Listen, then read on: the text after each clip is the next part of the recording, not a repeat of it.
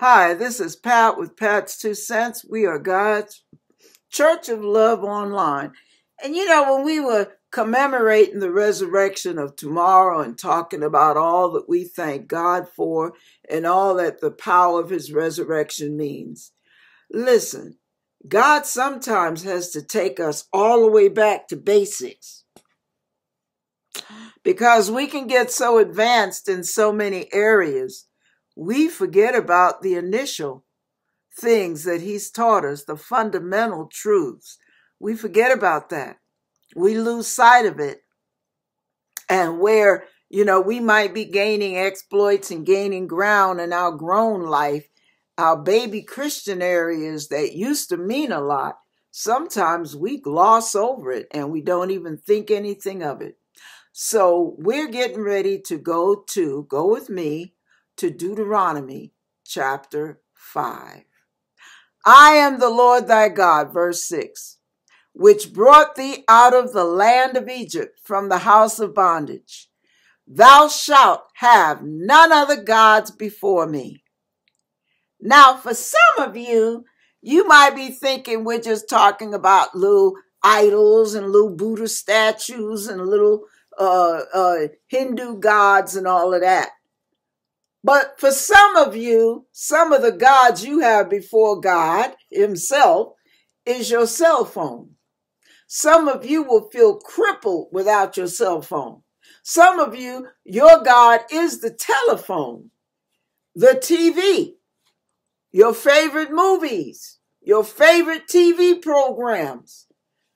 That's that I call it the idiot box, whether it be a computer or a TV screen, it's the idiot box. That for some of you is your God. All right. And for some of, for some others of you, it's your lover or your other, whatever you want to call it. That is your God. Because if they want you to do A, B, and C, and God wants you to do C, D, and F, you do the A, B, C because you're more interested in pleasing that man or woman than you are in pleasing God. That's another form of having other gods before Him. Some of you, your God is your appetite or your secret pastimes. Moving right along, and you know what those are. All right, let's continue. From seven, thou shalt have none other gods before me. Number eight, Thou shalt not make thee any graven image or any likeness of anything that is in heaven above, or that is in earth beneath, or that is in the waters beneath the earth.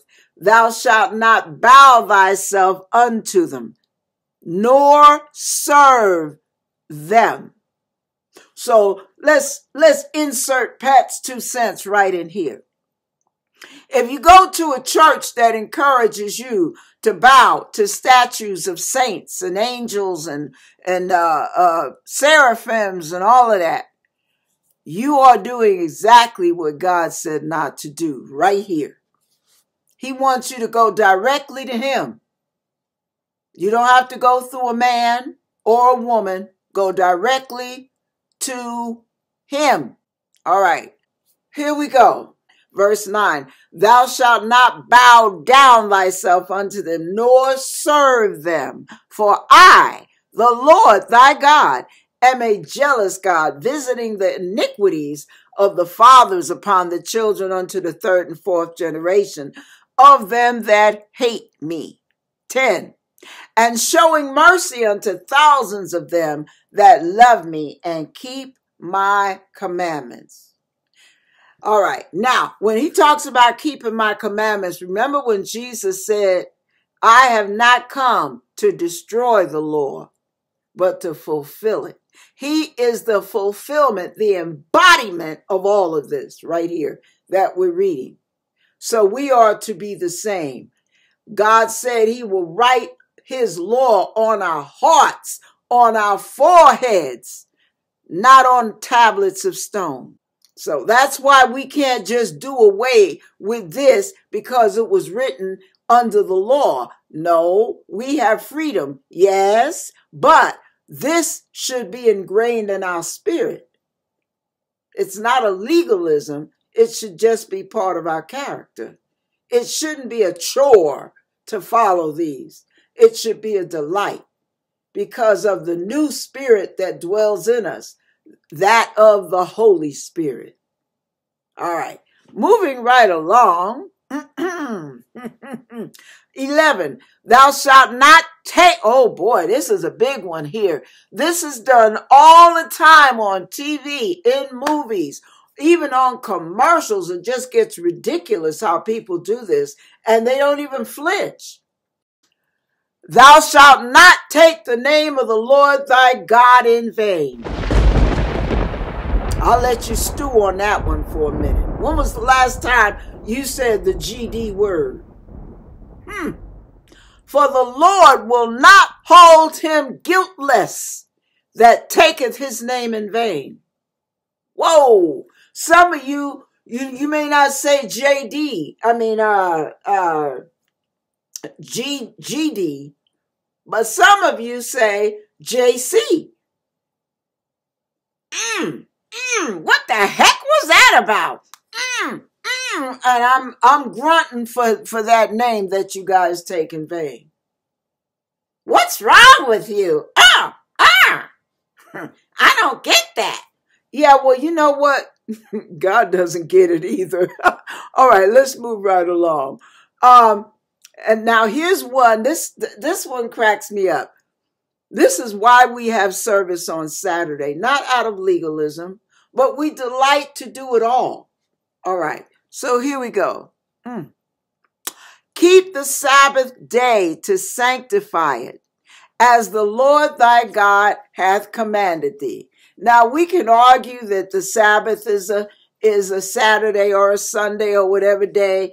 You know, Jesus, number one, before we get into legalism, Jesus is our Sabbath. He said, I am Lord of the Sabbath.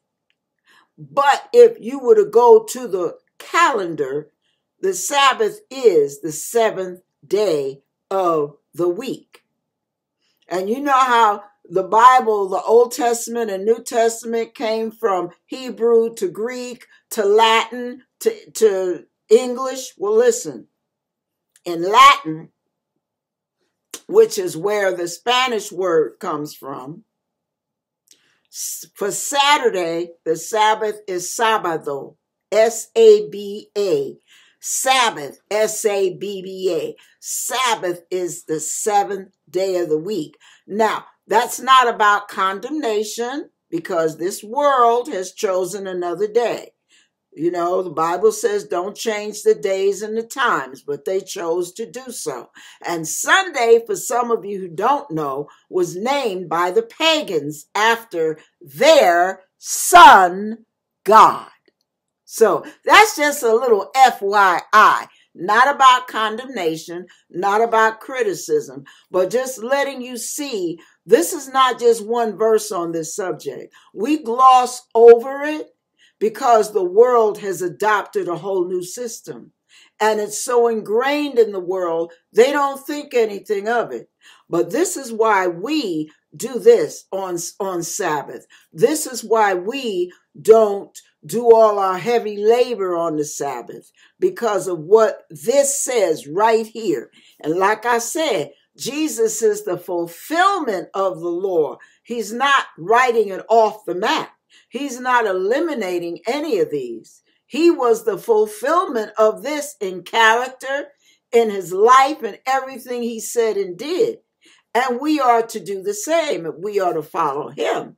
But because the world system is so ingrained in Sunday being the magic day, that's fine. As long as you serve God no matter what day, it should be every day of your life, should be your Sabbath.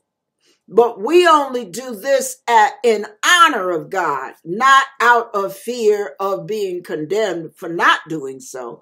We do it out of love and honor for Him. And there are some benefits for observing the Sabbath, just like there are benefits and blessings for reading the book of Revelation. All right, so moving right along. Mm. All right, here we are Keep the Sabbath day to sanctify it as the Lord thy God hath commanded thee. Here's another verse. Six days thou shalt labor and do all thy work. So everything you got to do, even on Sunday, believe it or not, that's fine. all right. Anyway, 14. But the seventh day is the Sabbath of the Lord thy God.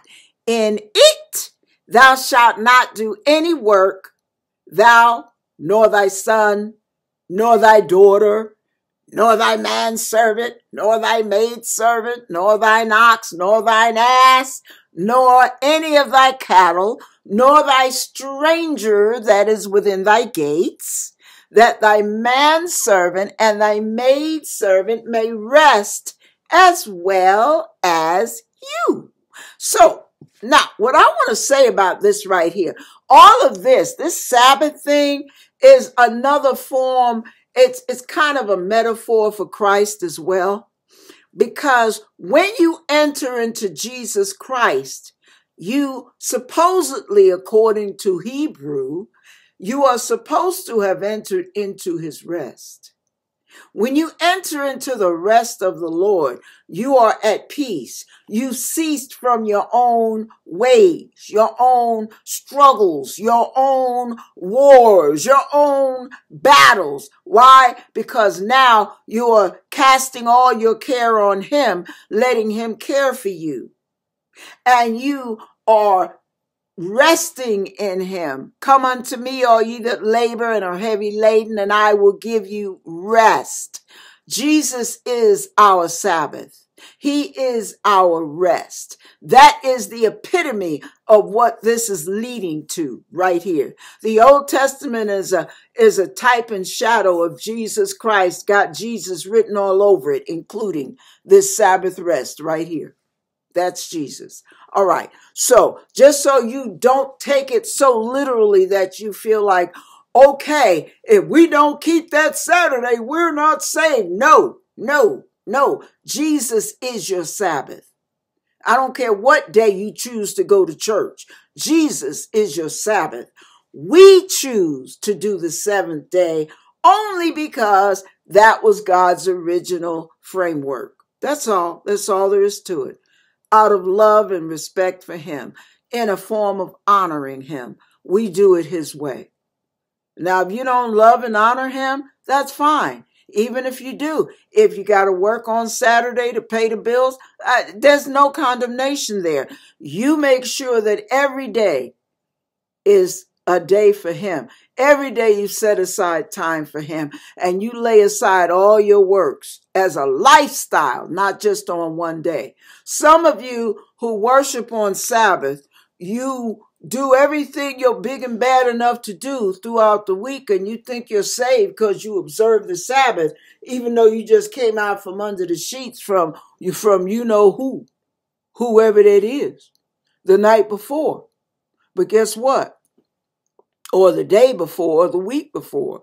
But the bottom line is Observing the Sabbath is following Jesus Christ at this point because we are not under the law. We are in the dispensation of grace. So you are free and you are not to be bound or let anybody judge you in meat, in drink, or in holy day. That's the balance of the word. Don't get caught up in condemnation. That's not what this is for.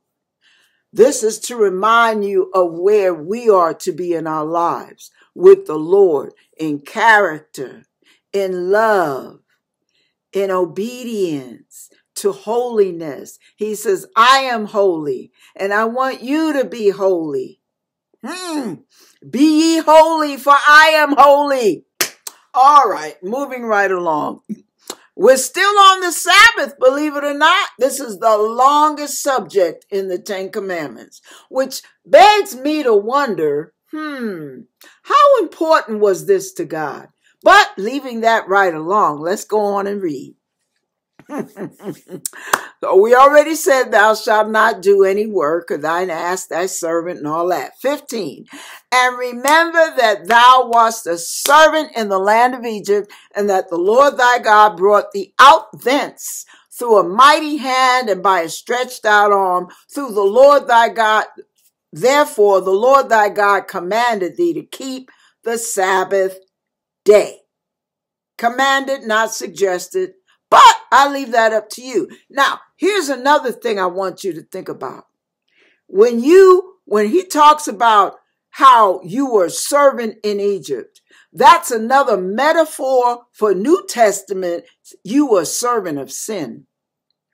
You were a servant of the devil, a slave to the devil. You were bound, tied up, caught up in sin, caught up in in in uh, habits and addictions. And yes, addictions have demonic attachments. I thought I'd throw that in, throw that in. You can give me a tip later. But the bottom line is understand that when you enter into the rest of Jesus, it relieves you from the bondage of sin. Just want to make sure I tied the two together so you won't lose sight of that while you're listening to this. Because, yes, this pertains to you. Once you are no longer a slave to sin, a slave to Satan, a slave to the ways of this world, the habits of this world, the bondages of this world, the cruelty of this world, guess what? You're set free. He who the Son sets free is free indeed. All right, now. Woo! Okay, so, and that the Lord thy God brought thee out thence through a mighty hand and by stretched out arm. Therefore, the Lord thy God commanded thee to keep the Sabbath. Hmm, didn't say suggest, but okay. Anyway, 16. Honor thy father and mother. Now, this is a biggie here because a lot of you, young and old, do not do this. Doesn't matter whether they deserve it or not. didn't say, it didn't stipulate conditions. It said, honor thy father and thy mother, as the Lord thy God hath commanded thee, that thy days may be prolonged, and that it may go well with thee in the land which the Lord thy God giveth thee. So you want your life to, to avoid as many bumpy roads as possible. You want to avoid as many pit holes as possible. And, and you want to have a nice, long, healthy life. You honor your parents. You'd be surprised what that means. You hear me? Don't cuss them out. Don't tell them off. Don't slam the door in their face. Don't yell at them like they got 10 tails. No, you don't have that right. God did not give you permission to talk to your parents like they're nothing under your feet. 17. Thou shalt not kill. I'm going to stop there for a second. You know, pull the car over, put it in park, because some of y'all kill with your tongue. You may not take a knife to anybody, but some of you have killed spirits with your words, your nasty, cruel attitudes. You're just mean spirited. You're critical. You're cynical. You just love embarrassing people in public. You love putting them down because you're going to make sure if you see any potential in them because you don't believe in yourself, you're going to make sure they don't believe in themselves either. Nah, nah, you ain't nothing. You ain't never to be nothing. No, I'm sorry, sweetheart. You are killing with your mouth. 18. Neither shalt thou commit adultery. Now that's that that can go a lot of different ways. Adultery is betrayal. Just look at it like that, betrayal. You made a vow to someone, whether it was in marriage, whether you're dating, whether it was to God Himself, whether it was to a job. Some of you are policemen and you are committing adultery every minute of your life. Why? Because you vowed to protect and serve.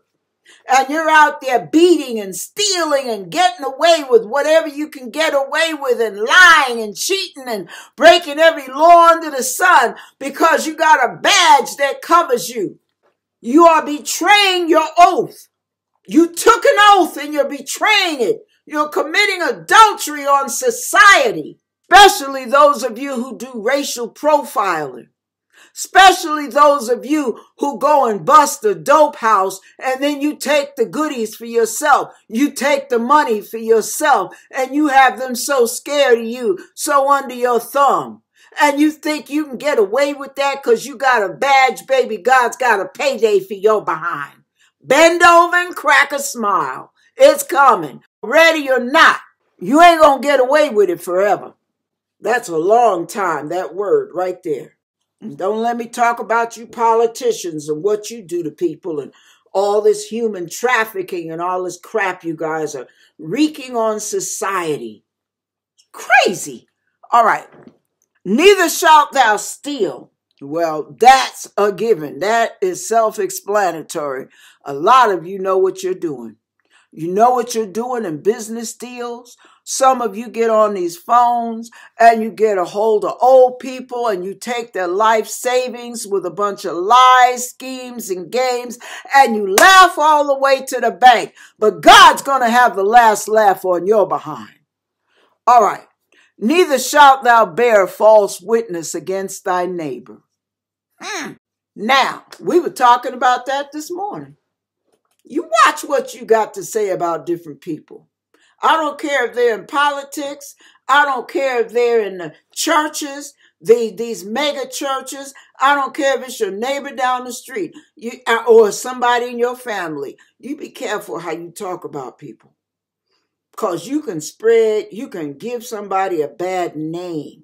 God might be getting ready to restore them to a position. He might be getting ready to reach out to them and restore them back into a higher level of ministry or or take them to a point of repentance where they're about to make a public statement and apologize. They were wrong. The Lord showed them. But you're so busy out there spreading their name and smearing it. Ain't nobody going to pay them any attention. I don't care how many tears they shed how many how many how many ways they repent.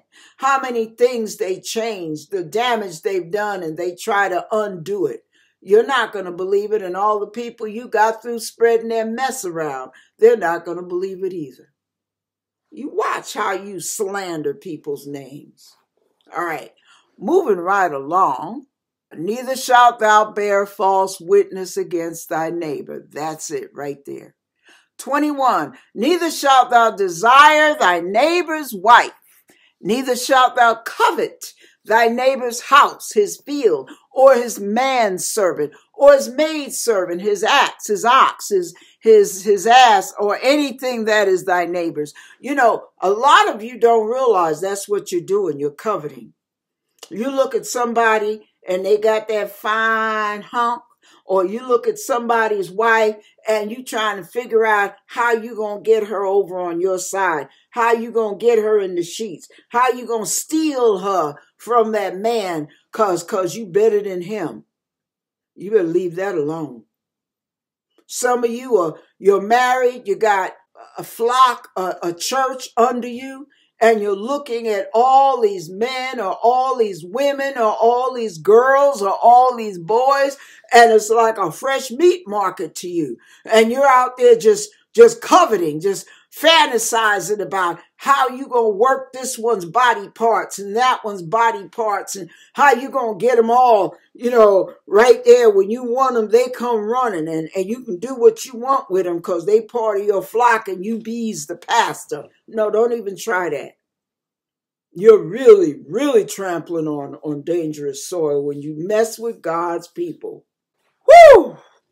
These people putting their trust in you and you're abusing the privilege. All right, moving right along.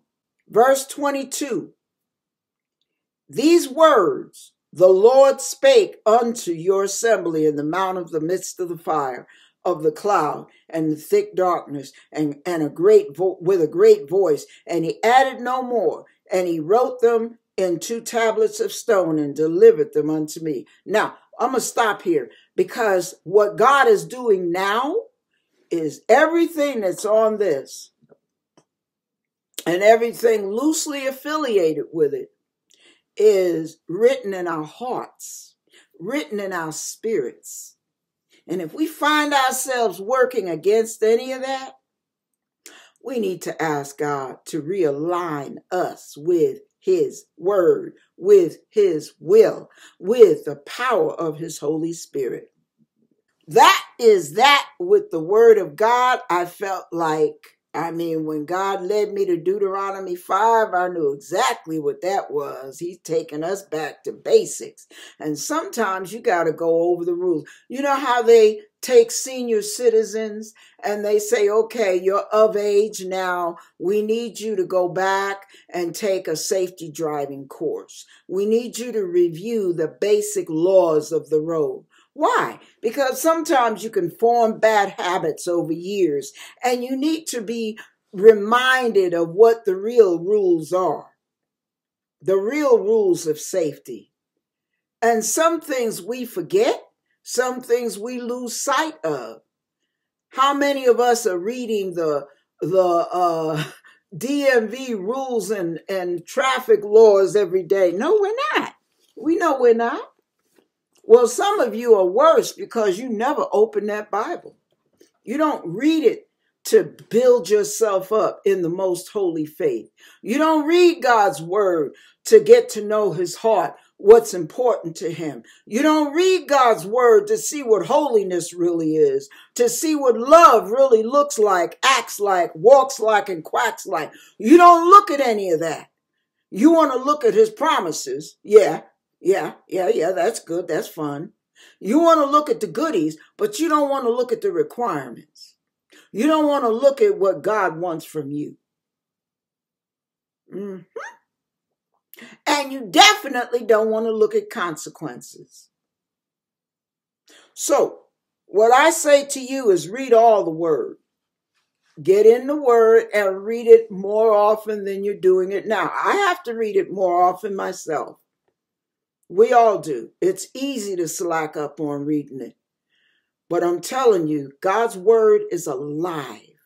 It's alive and it will make you well in your spirit. It will cleanse you. It will wash you. It will purge. It will point out all the areas where you fall short. Ask me how I know. Mm-hmm. The word will correct you. The word will guide and warn you. My question is how are you going to get warned? How are you going to get direction, correction, counsel? Hmm? How you going to get cleansed if you're never in it? That's like wanting to be clean, but you never take a bath, never take a shower. Ain't to happen, baby. All right. Please get into God's word. He did not go on the cross for you to take his Bible and stick it in the glove compartment or stick it in your bottom drawer or on your back shelf to collect dust. Jesus is the Word. He is the fulfillment of the Word. He is the Word of God, capital W. In the beginning, for those of you who don't know that, in the beginning, John 1 1, was the Word.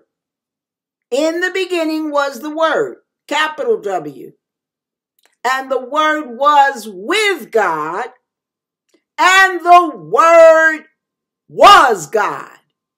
So, for the, those of you who wonder, yeah, Jesus is the Word, and the Word was God. And remember where it also says he became flesh and dwelt among us as of the only begotten of the Father, full of grace and truth. See, all of that right there points to Jesus Christ being the divine Son of God, not just a prophet.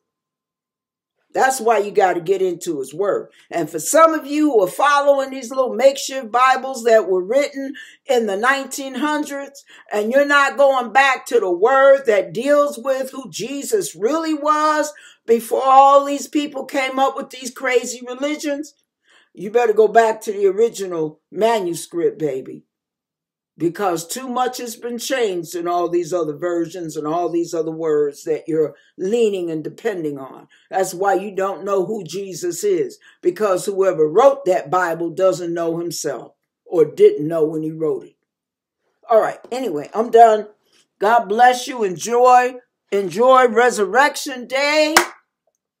Enjoy and celebrate our Lord and Savior Jesus Christ.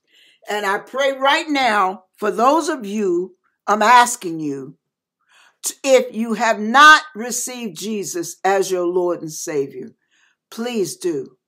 Please reconsider knowing that Jesus is Himself God, knowing that Jesus died on the cross. Hmm?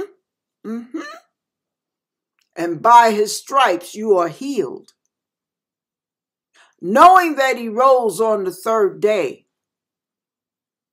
You may not be convinced. People say all the time, you're going to give your heart to the Lord. You got to believe. Hey, most of us d- didn't half believe. We just we just gave it a shot.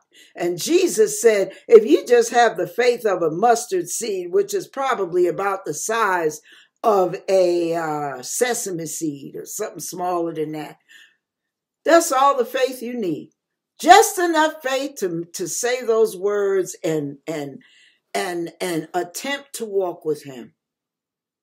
Just put your hand on the doorknob open the door and let him in y'all.